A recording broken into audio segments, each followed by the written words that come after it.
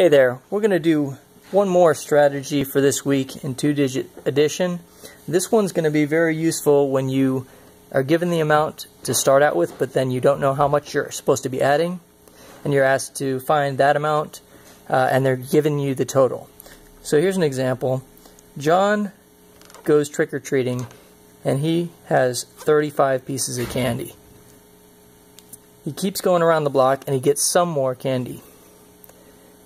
Now at the end of his night, he has 85 pieces of candy.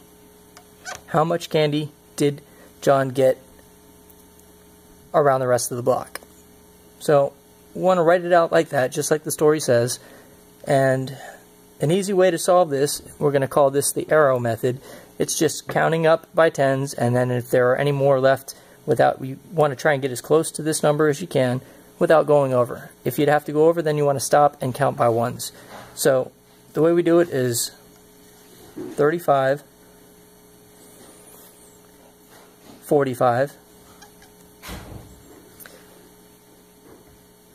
55. Are we at 85 yet? We're getting close. Plus 10 is 65. 10 more is 75. Haven't gone over yet.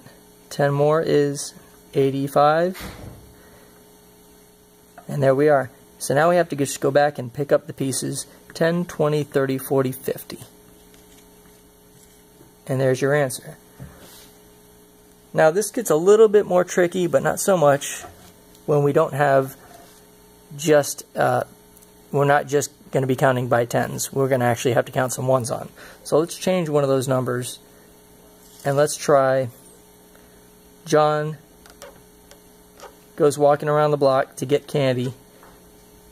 He starts out with 35 pieces of candy.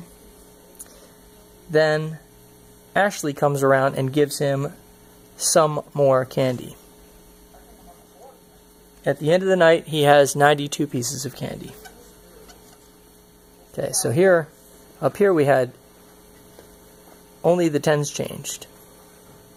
The ones stayed the same. Here, the 10s and the 1s are going to change.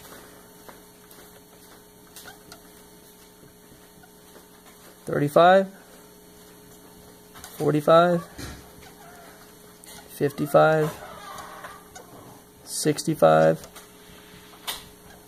seventy-five. We're getting a little close. 85. Now, if we do 10 more, we're going to get to 95. So we don't want to go over. So let's just start counting ones. 85, 86, 87, 88, 89, 90, 91, 92. And there we are at 92. Now we just go back and pick up the pieces 10, 20, 30, 40, 50, 51, 52, 53, 54, 55, 56, 57. And we always want to try to check our answer. So let's make sure we got this right. 5 and 7 gives us 12. And we'd regroup a 10. 3 and 5 is 8, and one more is 9. Or you could check it by using one of your other strategies.